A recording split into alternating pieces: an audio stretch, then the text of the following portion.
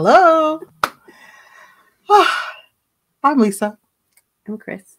and welcome to the Three of Skeins podcast, episode number 55 Wah!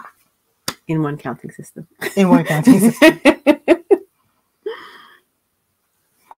So, dear sister, I see that you have something on today. what? Oh, this thing? Oh, this is Yes, this old thing. No, this. So this is this is the the cocoon shrug thing that doesn't have a name yet, but um, yeah, I'm I'm I'm declaring her finished because I'm I'm tired of stitching on it. Oh, so my neck, my collar was supposed to be four inches. It's three. We're not going to tell anyone. Shh. But um, yeah, she. It really from the back, it really looks like a quilt, and I'm like, I think I like that. yeah, that's part of the aesthetic. So it's done. I think. How much yarn did you actually end up using in Oh that thing? Christ. Um. the each the squares alone now they were 50 gram skeins but they were still like i think it was 200 ish yards per skein Mhm. so just doing the squares took me three skeins per color Yeah. So that was 12 skeins thank goodness i only paid two dollars a skein um and oh the yarn by the way is chow merino from Mhm. premier yarns and it's merino alpaca and nylon. Um and then uh, i use a lot more of this gray because i did the horizontal stripes on the back and the collar. And i don't know i think it was up to like my sixth or seventh skein of the dark gray. Um yeah i don't i, I haven't i haven't counted my ball bands so i don't know exactly but lots and lots of yarn So, what weight was that yarn? it's a DK. But it's very considering how much yarn in it is in it. It's very light. It's very comfortable. Um, it does give off a little fuzz. It has some halo, so sometimes I see the fuzz of flying. But um, yeah, no, I'm I'm I'm happy with it. I think I think we're good. So what I did with the collar was just kind of like a faux cabling. Mm-hmm. So I just did three post stitches, and I like it. The sleeves are elbow length, as you can see, and I think I will just do a cuff. I was going to do long sleeves, but I don't feel like it. So at some point, I will go back and just match this and do um, a cuff on the sleeves. But I am tired of stitching on this thing. Oh my! This is why I don't make blankets Yeah. because after a while you just you just just like no don't don't look at me no so Oh, yeah, yeah. i'm i'm re- i i do like it i'm happy with it but i'm also just ready to move on i just i just am but it looks like you are completely ready for when the cold winds start to blow. and so i did this little thing on the front i'm gonna show you all the picture i still have to work it out. But i just did a, i put a band and a, the buttons are on the band and Mhm. i just slipped it. I didn't even do buttonholes i just kind of slipped it through the existing stitches so that it just you know holds it closed a little bit. But what i'm going to do is uh, make another a second band and stitch them together just to give it a little bit more um, weight. Yeah. so because it it stretches a little bit and i don't want it to do that. So i will just add a little bit of mass to the little band here. Mm-hmm. But i like it. Do you have a stitch that's like kind of imitates a woven fabric that's available for you? Like in knitting, there's a linen stitch that doesn't stretch very much. yeah. We yeah Would linen you- stitch is pretty much the, the same in crochet too. It, it doesn't stretch. Would you consider doing that? maybe. I don't know. I'll do something. But i'm putting this away for now i will not be stitching on it anymore But I love how the colors worked out, Cryss. It's got me thinking about squares though, and like Uh-oh. different things I could do and different ways I can do square effects without actually making individual squares. So you may be seeing more squares from me, but not right now. and so this is how it looks in the back. It looks like a quote. It looks like I'm wearing a blanket, which is very funny, but I love how the colors are working. It That's comes down almost to my ankles. So pretty. Yeah, I'm surprised at how much contrast you can see. I'm very, I'm very happy with that. You were absolutely right to make the squares bigger. That Yeah, really solved that problem. but I like it. How is it to walk around in? It. I can. Yeah, it's. it's way better than the cotton version. Yeah, it is. yeah. But it, it. I mean, on my shoulders, it really, it feels like nothing. It, it's very, very eh, comfortable to wear. So, I'm, I'm surprised. I mean, it's this really like lofty light chainette yarn, but still, as much as I used of it, I'm still really surprised Yeah, at how comfortable it is. because you, I'm guessing you use at least 50, I mean 15, 50 gram balls. That's that's a lot of yarn. It is a lot of yarn. I got a great deal. Yeah, yeah, girl. what size hook did you use? I used 4.5 for the body, and I went down to four for my collar.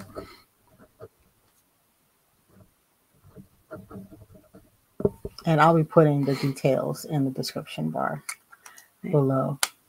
Yeah, so she is, as uh, she's declared finished.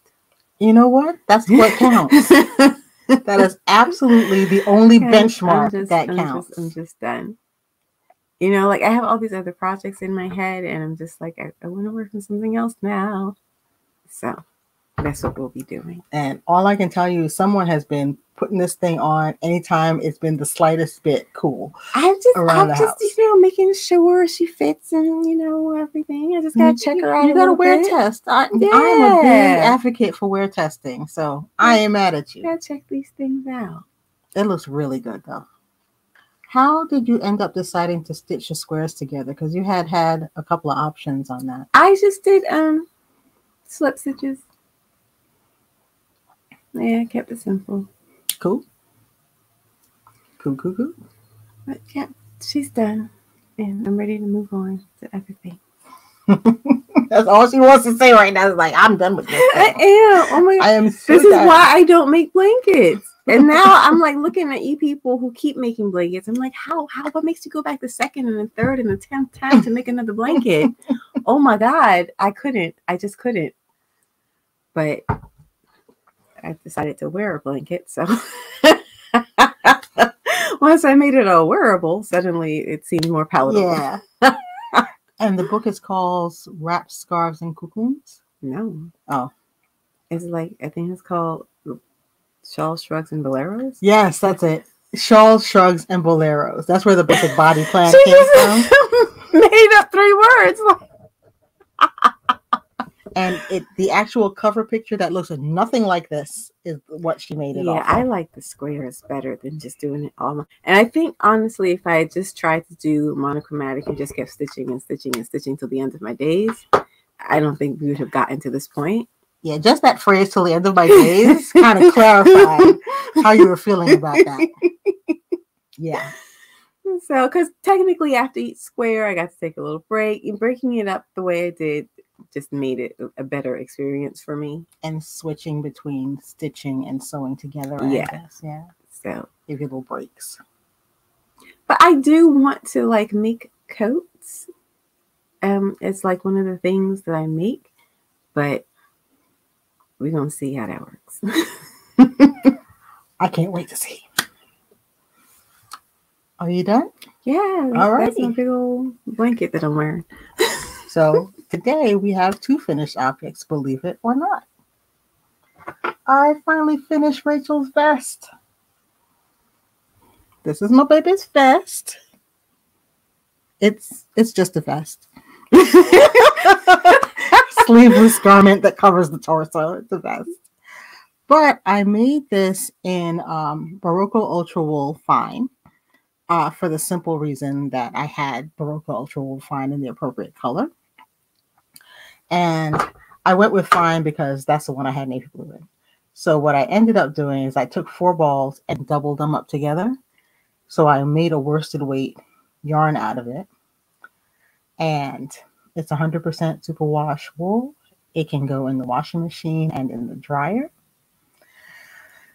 Tumble dry low, mm-hmm. wash cold delicate.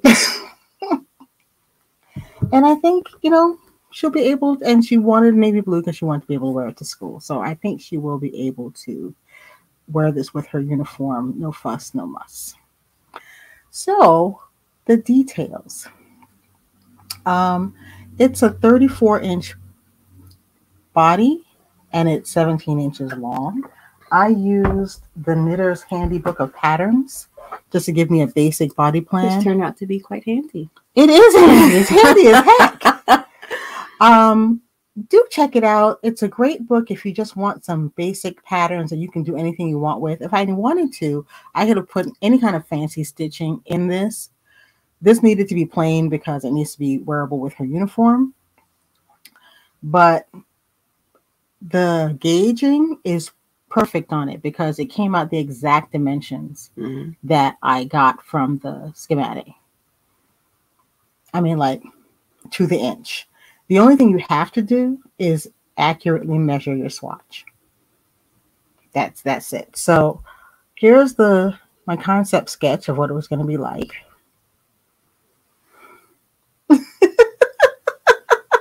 no, I'm not an artist, but the sketches help me visualize what I'm going to be making. Yes, that is a little JanSport bag and a sketchbook because Rachael is actually an artist. I'm not. And I just saw her wearing it with her khaki school pants and her white shirt. I see you, Crystal. I, I haven't said a word. I'm sitting here minding my grown folk business. So I did add some details to it. I embroidered. Did I have take a close up of that? No, I didn't. Okay. I embroidered a little label with her initials on it.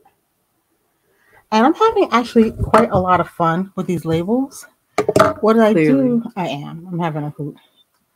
What I do is I just buy a wide satin ribbon and then I use um there's like a whole bunch of different free monogram makers online, usually for you know wedding supplies, your invitations, your napkins, what have you. I find a cool monogram configuration for the initials I want to include, and then I copy it onto the the ribbon. Now this time the ribbon was really quite dark, and I didn't really have a marking tool that was appropriate. So I copied the monogram onto some tracing paper and I basted the tracing paper to the ribbon and I just stitched it through the tracing paper. And then I ripped off the tracing paper after the fact, which was less fun than you would think. Because the big swaths in between came off pretty cleanly, but guess Mhm. what? I had embroidered over some of that paper. Mhm, mhm, So I mhm. was in there. the tweezers. That would have been helpful. Oh, with a needle kind of jiggling the paper out.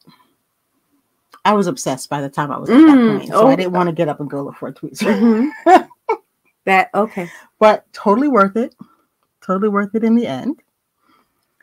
And I really love this configuration. So I think this is going to be her cipher for whenever I make her something. It's going to just end up somewhere on the item. And then I stabilize the shoulders with a bit of ribbon, which is a narrower ribbon. So I bought a one inch ribbon and a two and a half inch ribbon, which I think is actually a little too big. I think I'm going to go with the one, and I, I did with a one and a half inch ribbon. And I think I will probably stick with that going forward. But this was easier to embroider because it was more realistic. Oh yeah. So I stabilized the shoulders by just sewing a small length of ribbon just along the shoulder seam. And that will also help it if you hang it on a hanger, not, you know, end up with the hanger boo I let Rachael pick her button. So I sent her pictures of three different buttons. And then on the inside of both the button bands, actually, I took a picture of that. That make life much simpler. I sewed a length of one inch ribbon on either side to support the button and keep the button holes from stretching out over time. And it will keep this band from stretching out over time too, because this is where you're going to manipulate the vest, you Mhm. know, over and over again. So it should keep its shape pretty nicely. And the buttons are nothing too fancy, but they do have a little tiny marble detail on them. Tell So me how you take that picture. why come, Crystal? Why come? Somebody was not prepared ahead of time for filming. So while we were sitting here, she just holds up the vest next to her and takes a picture. I was like, that is bootleg. A little bit. I ain't mad though. I ain't shoot. So much in this world is bootleg. I ain't worried about a little bit of bootleg Rise photography. above, Lisa. Rise above. Okay. I am not worried about a little bit of bootleg photography. So the only thing that needs to happen to this vest now is I am gonna wash it once and then let it dry and ship pack it up and ship it off. So she should be able to wear her her vest in about a week after it gets there. Hopefully this will not be one of those cursed packages. Okay, Please, wait, please. don't. How would you even say that? Don't you watch movies? I know, I know. I Oh my. God. I shouldn't have. I shouldn't have. Why don't you just say Candyman three times in the mirror while you're at it? we don't mention that one. um, so I did what something that's called a narrow slit buttonhole. Really cute buttonhole, hold it shaped pretty nicely. Didn't need any extra finishing. And what I do suggest you do too is just to see how your buttonhole is going to work in your fabric. You take your swatch back out, pick up a tiny button band on it, and do your buttonholes. That way you see exactly how your buttonholes are going to sit. And you notice the rest of this fabric is curling like a mug, like um, Stockinette Stitch always does, but this button band is just sitting up straight and tall. I practiced the ribbon sewing on it. I did it in white so you guys could see it because the stitching is completely invisible in the blue. And I did the slit style for the ribbon rather than making an official buttonhole in the ribbon too. Yeah, that sounds like a lot of trouble. Yeah, it would have been much more work.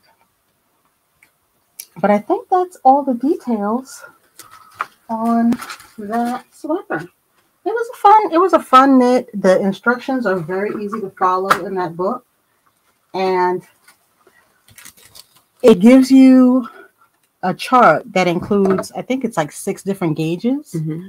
So whatever gauge you get, you can make an item based on your gauge, which was really kind of wonderful.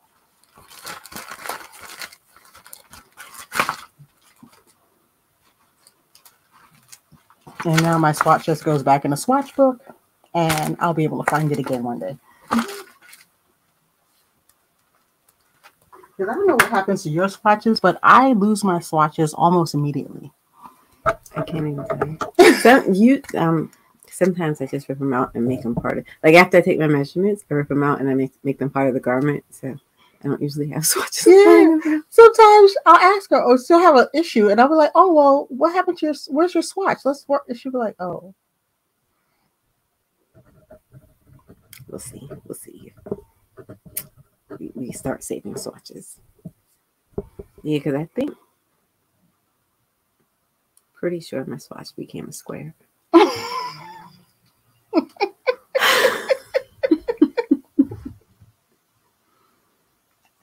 now this is going where all my swatches are going from now." And then that was the neat thing about having the swatch book. I was able to find this swatch when I want to do a button band. It was like, "Oh, what? It's right there in the book." so, dear sister, what else is going on with you? Nothing. I'm trying to think of what I'm gonna make next, and I have two candidates. Now the thing is, it's really not that serious because I'm making both eventually. Mm-hmm. but I don't know which one I'm gonna work on next. Next, um, so I was perusing the internet, and I have been wanting to make a wrap top, but I found a video of this woman who did a um like a faux wrap top because it doesn't like tie in the front. It's just it stays in place and it's a, it you just pull, it's a pullover. Okay. But this is actually from a YouTube video, and the channel is Madeline Shirley. And the video, I think it's just called Easy Wrap Top. But the way she did it, it's like dead simple. And I was like, oh snap, I can do that. So I might just use her her method for making a really simple, you know, V-neck cross front top That's cute. And what I want to do with mine though is make each half a different color. So I might be using these two.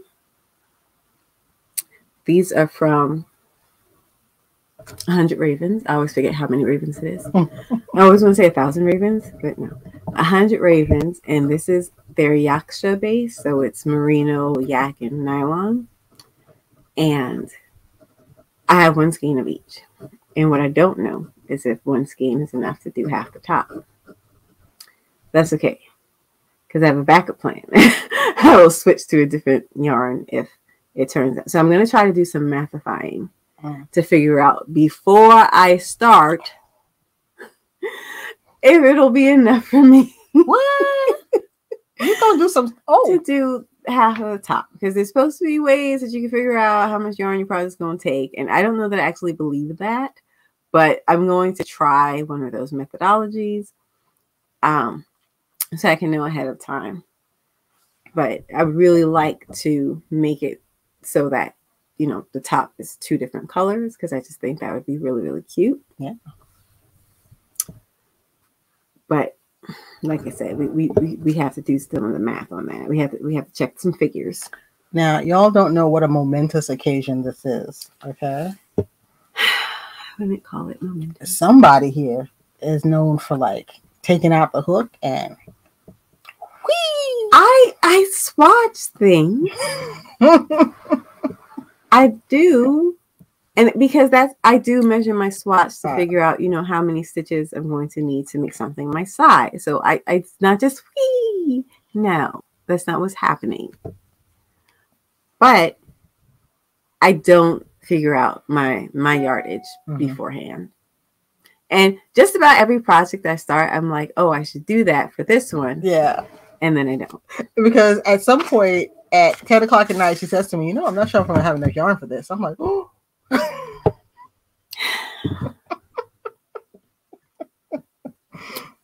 However, and I'm like, good luck.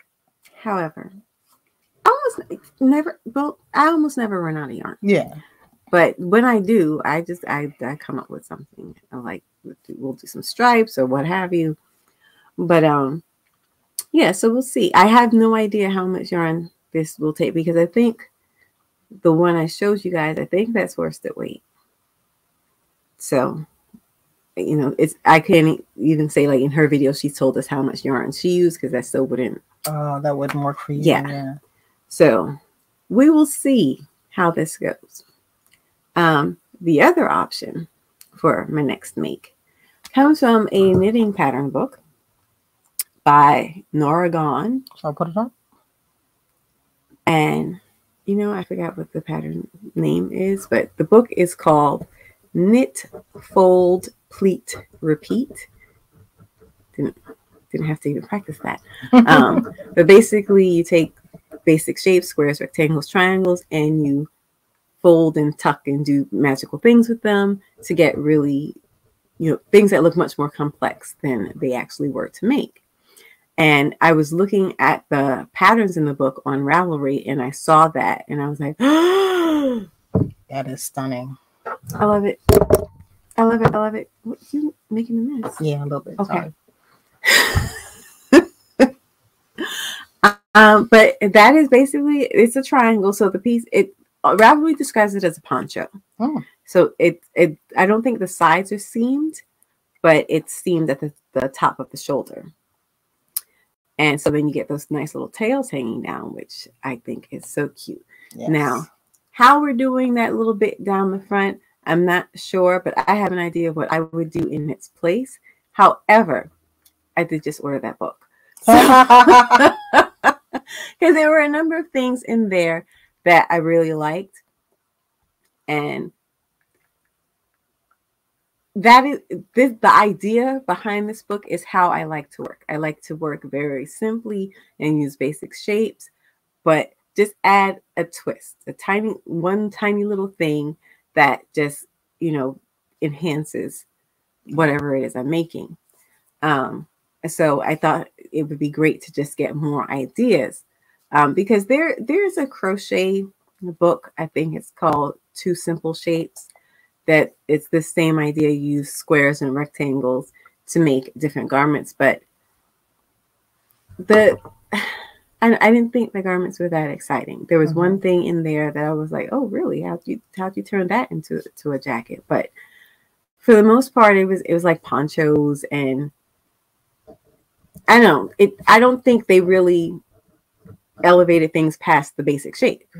they just showed you different ways to sew together the shapes. Right. So this book um, intrigues me. And the pattern's called Jabot. Oh, okay. So I might make this. And if I make this, I will be using a yarn called Whisper Lace. Um, the brand is Fibra Natura and it is distributed by Universal Yarns. And I believe it is 70 30 wool silk. Am I making that up? No, yeah. 70 30 wool and silk.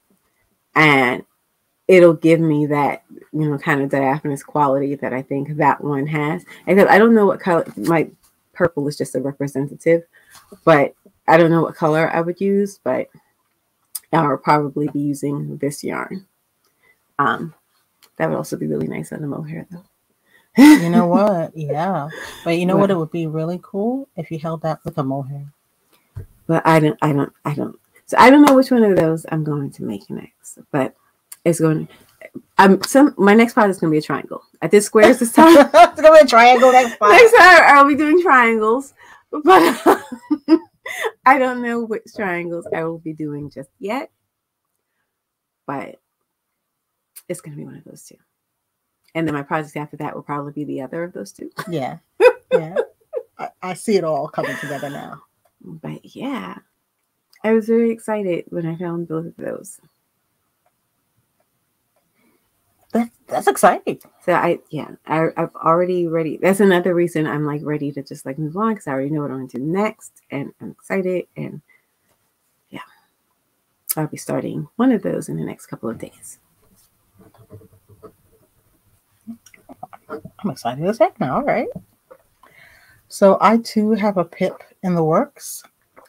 You know how I don't normally work on, in a mono, what is it, monogamous in a monogamous way.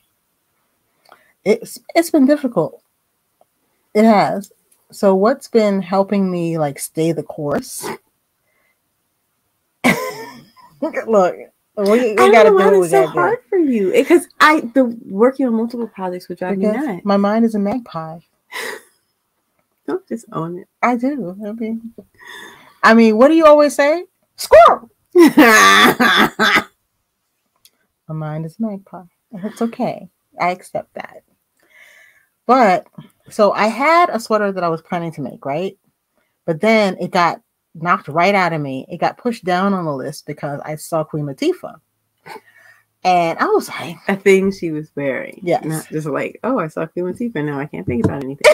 no, I can't think of anything else aside from Her Majesty, the Queen. So I saw Queen Latifah wearing this, this you still didn't send the picture? You know, it was in there, but I took it out because we had a long line of pictures. But it's okay. I have it. I had it all ready to go.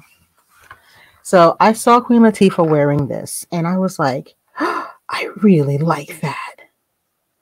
So I started thinking about, okay, what yarn would I make it in? What what do I want to do with it?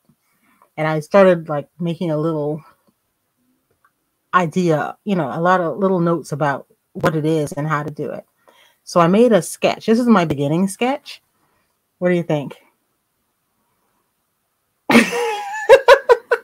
You're killing me. so I sketched it. Now notice I haven't added any color to it yet because I'm going to be trying out my first notion of what I think the yarn's going to be, but I did copy her pose Yes, I so I can that. see it on Okay. me looking away. she does. So please excuse that little blob. I added those lines late, and when I was erasing my pencil lines, the ink was still wet. So it'll go away after I color it. So this is my next project. I'm still in the okay, let's figure this out stage. So I have chosen this yarn. Why? Because I have scads of it. Now, it's not a brand I've ever heard of before, It's RY Classic Yarn. It's a 64% extra fine merino wool, 10% angora, 24% nylon, and 2% metallic fabric. So you see it has a little bit of a of a twinkle to it. And I like that about it. This is it. a very heavy weight, though. It's a worsted weight, but it's a light yarn because the yarn itself is not it's not twisted. Mhm. And it's a it's kind of like a roving with the metallic twisted around it and a little bit probably the nylon holding it together. But I think it's gonna knit up in a very light sort of way. Uh, kind of the way the chainettes do. It's gonna have like a lot of loft to it. So what I have looked at so far on this piece is that I like the high-low nature of it. I like the drapiness of it, and I think I'm going to be able to get drapiness out of that yarn. And when I looked very closely at it, I saw that it has in the stitching a kind of horizontal movement.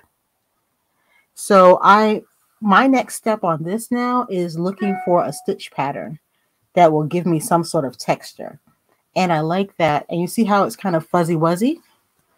You see the fabric has a little bit of fuzziness to it. I think the Angora in here is going to give me that sort of fuzzy wuzziness Mhm. to the yarn. So I went on over to Pinterest because I'm lazy and I didn't feel like coming and getting my stitch dictionaries. And now I'm looking for a stitch pattern that A will not be a pain in the butt to knit. B will give me some sort of overall texture. I may go with that horizontal liney texture, or I may just go with a texture. And my other requirement is I want it to be a pattern that lies flat because it's not really edged, and I kind of like that. I, I like Mhm. that clean vibe. So if the pat, it's going to be for me, it's got to be a garter stitch based pattern because it will more than likely lie flat on its own, and I won't have to do some sort of um, edge treatment to it to get it to lie flat. And now I am thinking, do I want to make it in two pieces or do I want to make it in the round? I don't know yet. We'll see.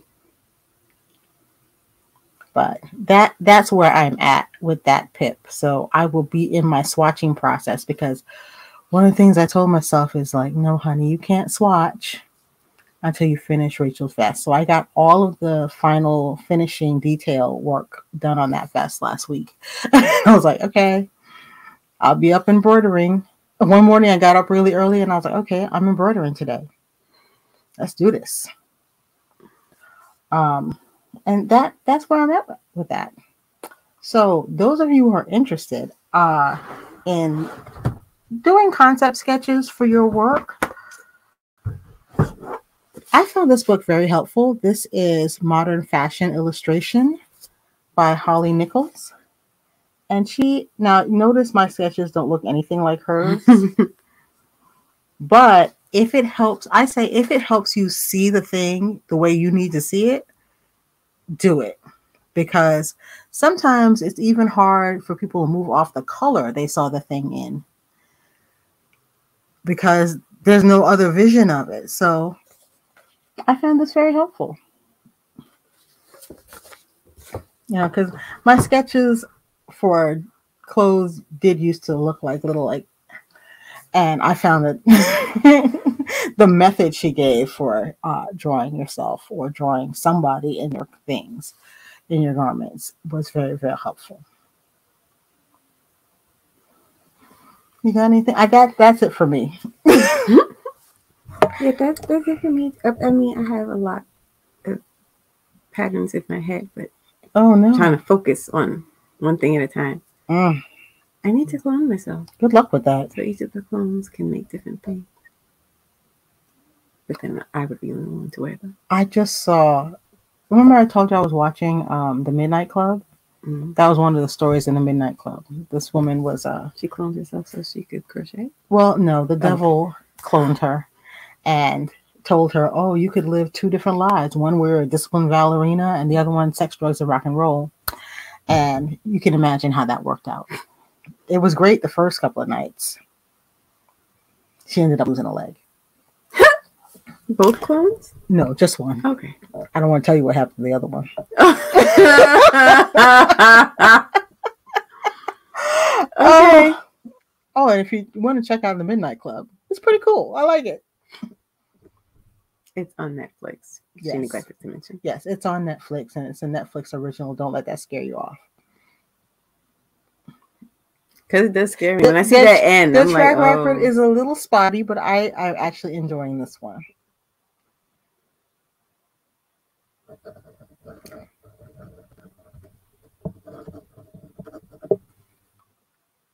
Yes, that's what I'm calling it. I just came up with that. Okay. Are, are you going to share? I guess I have to now. Yes, you do. I'm gonna call my version of Queen Latifah's cloak the Queen's cloak. Oh, okay.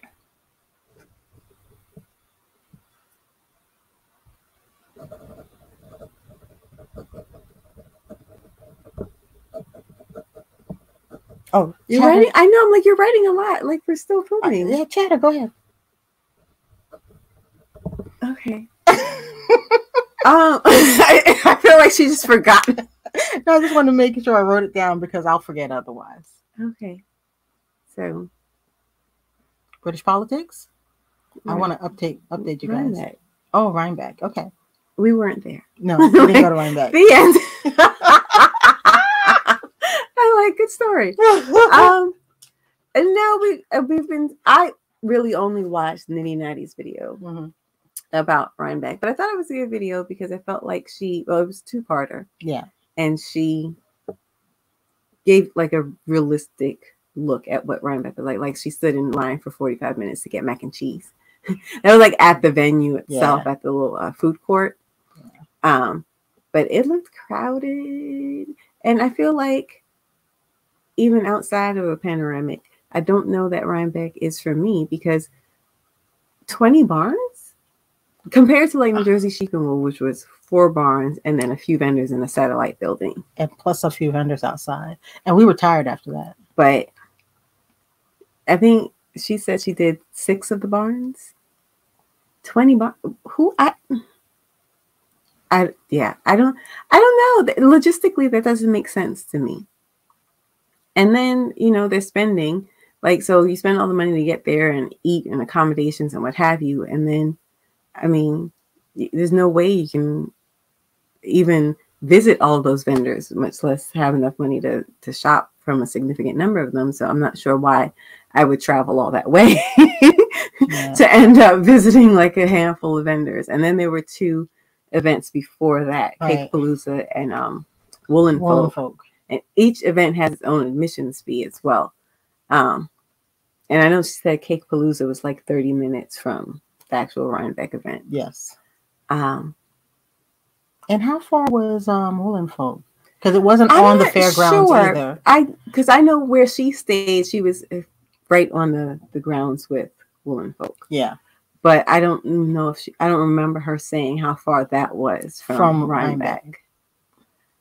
Um, and apparently, like getting out of Rhinebeck, like just a random person had to like get out of their car in direct traffic because there was like a, a T uh, intersection, and people he had to just let cars go from one side and the other Mhm. one at a time because otherwise it, there'd be no getting out of there. And I was just like, oh, that's terrible. Actually, you know what? I was watching, I watched a few people's videos, right? And I was watching the videos because I'll admit it, I was like, you know, I I, I had a little tiny bit of FOMO um about Rhinebeck. But then I saw the crowds and you would not believe how that quenched my FOMO. I, I It was like- FOMO because even just getting there would have been a hassle. I just found out from Nitty Natty's video that you could take a train. Mhm. Um, but goodness knows how much accommodations would have been Well, you have to book a year in advance. You can't book like to buy yarn. three weeks out. Is that what I'm doing? and then go. But I feel like people don't feel like they're officially in the community if they don't go to some of these events, I don't you know. And. I personally, I am, I'm with you. Rhinebeck is too big an event for me at this point in time. I would um I would continue going to something like uh New Jersey Sheep and Wool because there's still a day's worth of yarn to see hmm and all the accessories and all of that only on a much smaller scale. Yeah. I. I mean, I'm sure it's fun. Yeah, yeah. I'm not mad I'm- I'm I'm, not sure it's mad at you for going and enjoying the festival. I'm just saying I know now is not the festival for There me. was a lot of Alpenglow. yeah. It's not the festival for me. But it's like how after a while we would you we used to go to um Comic Con every year and it got bigger and bigger and bigger every year. And towards the end of our Comic Con journey, it just wasn't as enjoyable anymore because it was We couldn't get into panels anymore. Yeah. You can't couldn't get into a panel without waiting in line for like an hour. So we just spent all our time on the the marketplace floor. Mhm. But every once in a while, you want to see a panel. Yeah. I mean, we would do all the tricks. We would like go to the panel before and just not, not leave. we did that for a while. the room. They started clearing the room after that. that. worked for like the first couple of years. we got into some of the bigger panels too, doing that. We sure did. But overall, I personally think that event also has outgrown its space. Mhm. And it's not an event I would want to go to anymore just because there's too many folks. Remember that first year they did Thursdays and we had a Thursday ticket? Oh, Thursdays were like serene. yes. It was lovely. But uh Saturday, elbow to elbow, shoulder to shoulder, the fire marshal threatening to shut the thing down.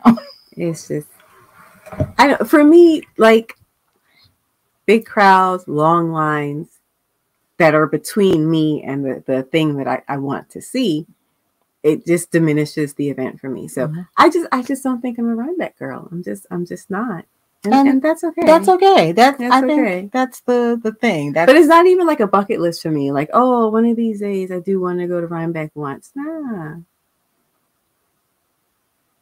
I mean, honestly, I would just go look at the vendor list online and check some of them out, you know, online and just That's like, what- oh, if I like that yarn or the notions or whatever. that's what I did. I would look at the vendor list and check check out what they had because yeah, I don't.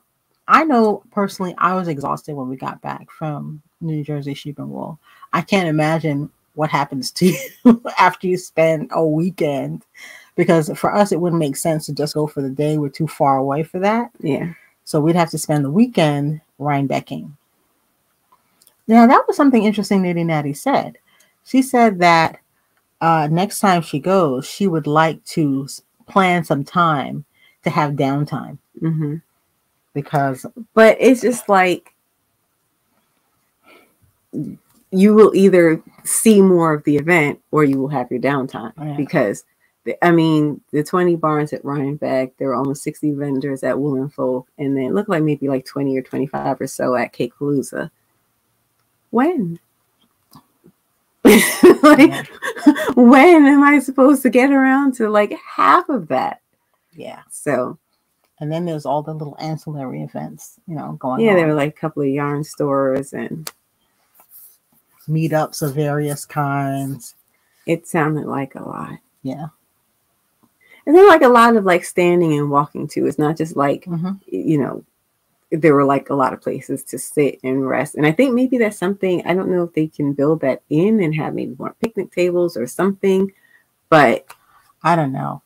I don't see if you have like any kind of like physical disability, I'm not sure how you're doing something like Rhinebeck. Well, that was a discussion that came up that, you know, accessibility, physical accessibility was an issue because apparently they used to have a vendor that rented scooters to people Mhm. and they did not have that this year. Oh, and then people chose events based on like uh what was it? Wool and Folk advertised they were doing COVID restrictions.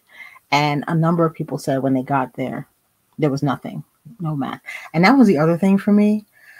I would not be comfortable around so many unmasked people.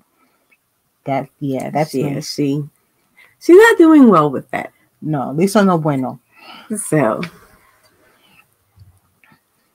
you know, I think this is this is the reality going forward. So I'm not Mhm. really sure what there is to be done about that. Yeah. But um obviously it's something I think about too, but as long as I'm wearing my mask, I tend to feel a little bit better. But yeah, that was another thing. Yeah. like I when I saw how many people were there, um just wouldn't be prudent. I don't know. I think I would like to do to go to some smaller. I was just thinking, like, I do like yarn festivals Yeah. very much. I definitely want to go smaller. I would definitely like to go some to smaller ones. Like, I think if Wool and Folk were a standalone event, Yes. I would have gone to I something would, like I would like that. Yes. Because it was small, but it felt big. Because 59 vendors is a lot of vendors. It is. Okay. By the time you walk through all of them, and you know, some of us would do that thing where we don't buy the first trip through because we want to see everything. Although I do think and then you do the second Forty-five dollars is a little bit much for admission. Yeah, that was high. I do because neither Rhinebeck nor Cake Palooza were that much. Cake Palooza, they uh their price was tiered, so based on what hours you went, the earliest tickets were twenty five down to the latest tickets, which were ten dollars, and Rhinebeck was twelve dollars a day, so it was twenty four dollars. So And that's only if you did both days. Because yeah, what I did see a lot of people saying was one day of Rhinebecking was enough for them. I do think Wool and Folk was a tiny little bit expensive, but Oh, and Nitty Natty said that she thinks that Sunday is going to be her Rhinebeck day because it was so much less crowded on Sunday. really, Yeah. hmm, pro tip. Pro tip, yes. Um, what is coming up for us? Um, New Jersey Wool Walk is coming up. They have already a- put out a date in Oh, April. not the next year though. Yeah. Like I don't know if there are any more like in the for now I'll just be checking out um trunk shows at my local yarn stores. There's one I want to go to next month at Slip Stitch Avenue, and that's how I'll be getting my fix. um but yeah, that I I think I want to start going to more trunk shows Yeah. because it, it kind of gives you that tiny little bit of yarn festival atmosphere Yes. but you know, not the big crowds and not so much to to see that you're distracted. You can't even like figure out what it is you want to do. I like that trunk shows focus you on Just Specific one vendors. brand. Yeah. Yeah. And you can see more of what they have to offer because they usually bring at least a couple of lines. Um, that, that, that, yeah, that's, that's lovely. Let me ask you guys, what kind of yarn events do you want to go to? Even if you haven't been to one yet, what you- what's the one that you've got your eye on?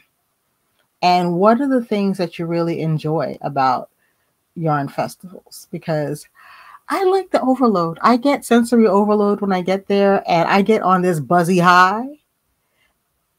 and When I'm surrounded by we yarn. handle crowds better being from New York, but it, the crowds in New York annoyed me. like trying to get through the subway or whatever, you just dealt with it because that was the way. yeah, but it was never something that I was like blasé about. Like I was just never a fan.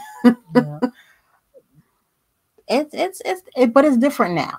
You know what I mean? In the era of COVID, crowds feel different. You know, I could be annoyed by. All right, I could be annoyed by when the subway platform got full. You ever been on a subway Mhm. platform that was edge to edge? Yes. Hate that. But if it was just ordinary crowded, it didn't trouble me in the least. Hardly noticed. Right. Yeah. So that I was just like, I think this is the first time I really watched anyone's Rhinebeck video. So I mm-hmm. it was something that I just kept hearing about, but I didn't really like know anything about. So this is my first introduction, really, Yeah. you know, remotely Yes. to to Rhinebeck. And I, for me, it's just, I don't know. I don't think I would go. for me it's too big it's like crystal was like wanting to go to san diego comic-con and for me it was always kind of way too big Yeah, that, that is our view of Rhinebeck. yeah yeah let us know if any of you guys went Yeah, how I did you enjoy it? hear from people who went. If what was your experience like, and was it your first Rhinebeck? yeah So some people did ask for an update oh yes Yeah. on.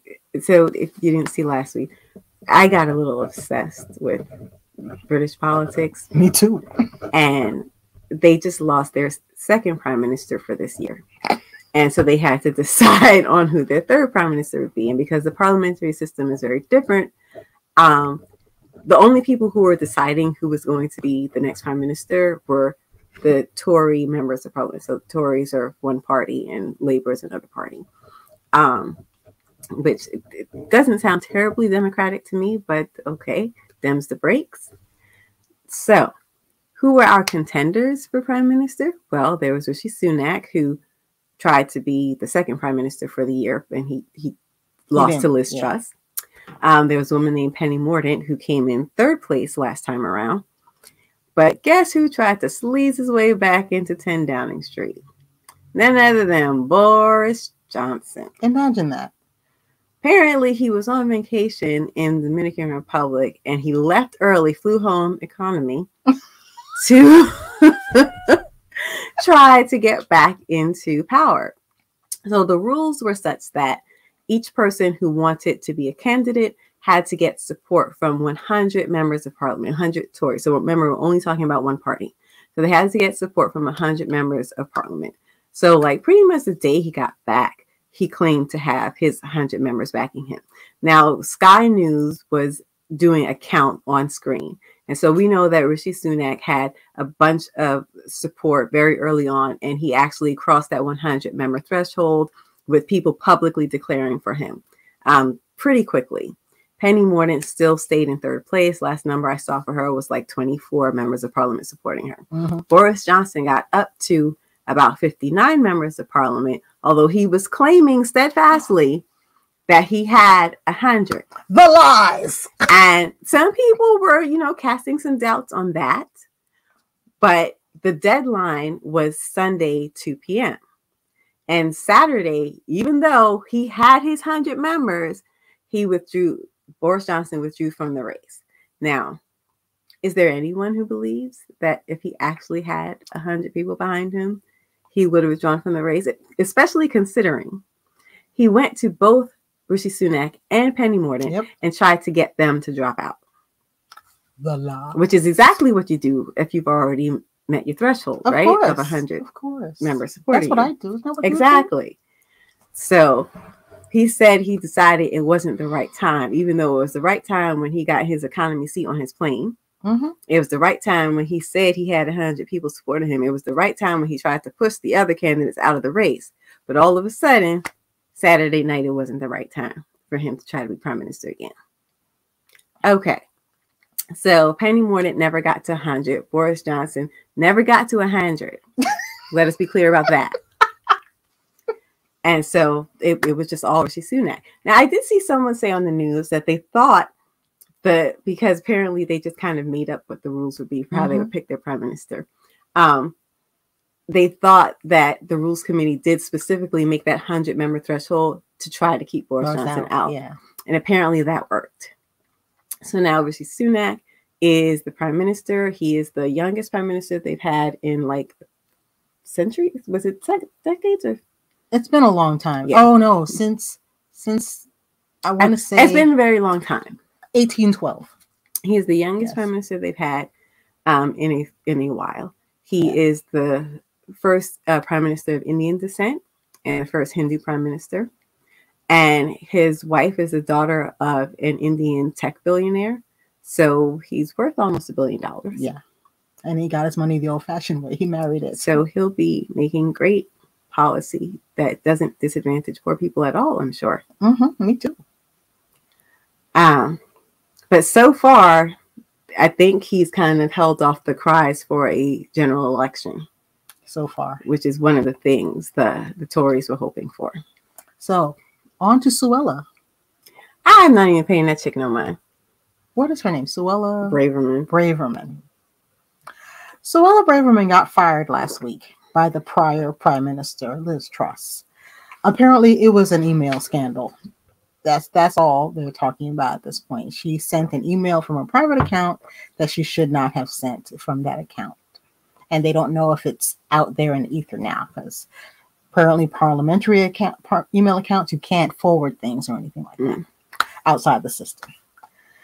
So guess who gets hired to be the home secretary? That was This Josh week. just got fired from. yes, she was home secretary last week. I think it was last Wednesday she got fired. And this week, Rishi Sunak hired her back. Why is that? Because she represents the the super racist wing of their party. Super right ring. That's what that means, isn't it? Yeah, Oh god. that's yeah. Okay. I said what I said. And um, he wants to keep their support. The brown man. I just feel like he couldn't have picked anyone. else. I mean, she just got fired last week. Yeah. Wednesday of last week, she got fired. I mean, she probably still had stuff in her. Oh, maybe she probably hadn't even moved out her office yeah, yet. she didn't have to move back in. maybe it was just convenient. I don't know. But But she represents that. She has publicly stated that she has dreamed about deporting people to Rwanda. that's not deportation, though. Let us be very clear. Yes. Because when you deport someone, you send them back to their country of origin. Taking them to a, a third party country is kidnapping. Yes. Let's just be clear about that. Yes, yes. Okay. indeed.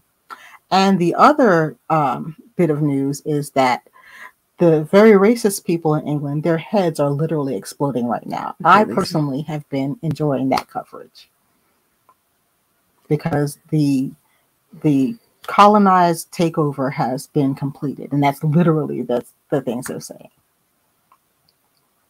But that's the news on England. I can't wait to see how it's going to all I go. can see Lisa is not prepared to be a news anchor because she puts things puts things quite indelicately.